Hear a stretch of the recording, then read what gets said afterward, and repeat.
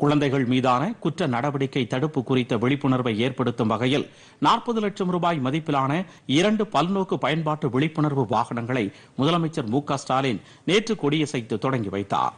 காவல்துறை நவீனமயமாக்கல் திட்டத்தின் கீழ் இந்த வாகனங்கள் வாங்கப்பட்டுள்ளன. இந்த வாகனங்களின் நான்கு புறமும் பொருத்தப்பட்டுள்ள கண்காணிப்பு கேமராக்கள் மூலம் சுற்றுப்பகுதிகளில் நடக்கும் நிகழ்வுகளை காணவும் அதனை பதிவு செய்யவும் தேவைப்பட்டால் உரிய நடவடிக்கைகளை எடுக்கவும் இந்த வாகனங்கள் பயன்படுத்தப்படும். இந்த வாகனங்கள் அவசர காலங்களில் நடமாடும் கட்டுப்பாட்டு அறையாகவும் செயல்படும் வகையில் வடிவமைக்கப்பட்டுள்ளது. தலைமைச் செயலகத்தில் நடைபெற்ற இந்த நிகழ்வின் போது உள்துறை கூடுதல் தலைமைச் செயலாளர் எஸ் கே பிரபாகர் காவல்துறை தலைமை இயக்குநர் சைலேந்திர பாபு சென்னை பெருநகர காவல் ஆணையர் சங்கர் ஜிவால் ஆகியோர் உடன்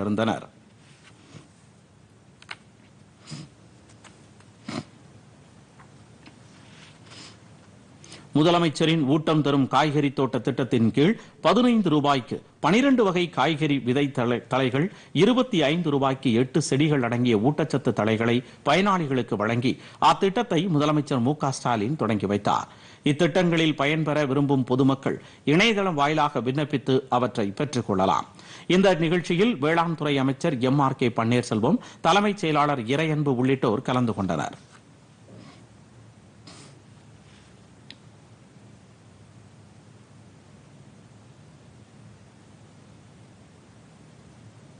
முதலமைச்சர் மு க ஸ்டாலின் நேற்று கனமழையால் பாதிக்கப்பட்ட மணலி புதுநகர் வடிவுடையம்மன் நகர் ஆகிய பகுதிகளில் மேற்கொள்ளப்பட்ட சீரமைப்பு பணிகளை ஆய்வு செய்தார். சீரமைப்பு பணிகளை சிறப்பான முறையில் செயல்படுத்த அதிகாரிகளுக்கு உத்தரவிட்ட அவர் மக்களிடையே குறைகளை கேட்டறிந்தார்.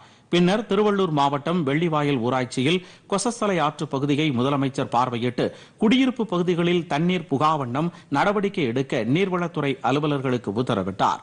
இந்த ஆய்வின் போது இந்து சமய அறநிலையத்துறை அமைச்சர் சேகர் பாபு சென்னை மாநகராட்சி ஆணையர் ககன்தீப் சிங் பேடி சட்டமன்ற உறுப்பினர்கள் சுதர்சனம் துரை சந்திரசேகர் ஆகியோர் உடனிருந்தனர்.